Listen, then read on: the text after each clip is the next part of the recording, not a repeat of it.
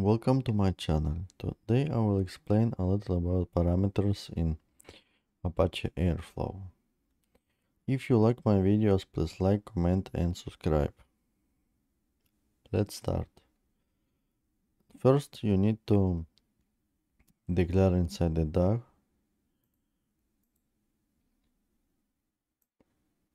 params attribute with the dictionary this is the key. This is the value. Then if you are using taskflow api for your for your task you always need to receive the context. So you always need to use a variable and two asterisks. So this variable will convert all keywords argument into a dictionary and then by key we get the parameters. And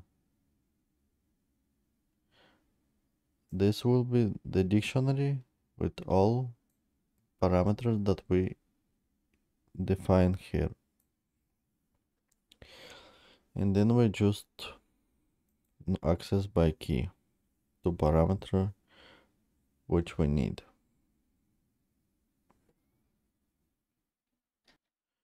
But if you are using the traditional way to, to create a tasks, you can just use Jinja templating.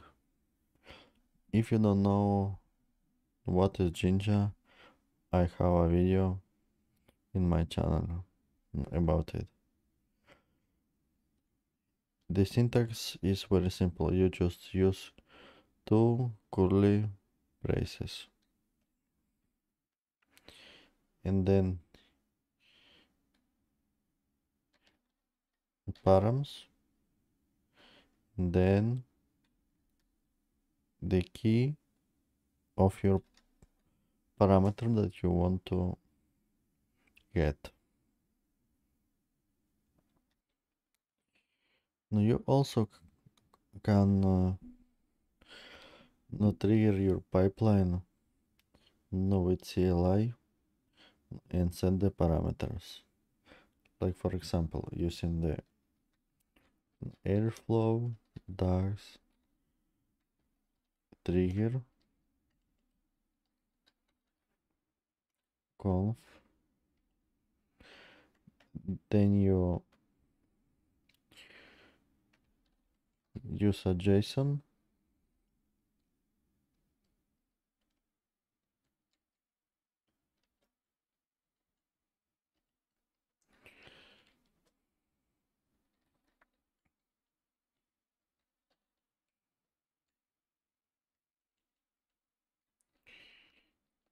something like this key value and then you put the name of the DAG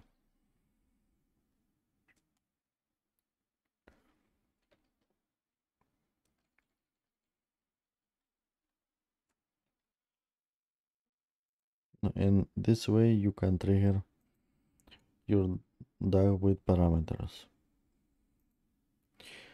The other way is to trigger using Airflow UI.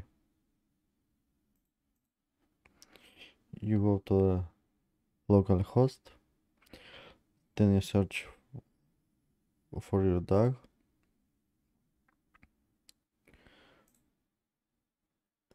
and when you want to trigger your DAG it will ask you for a parameters. And then you can trigger it.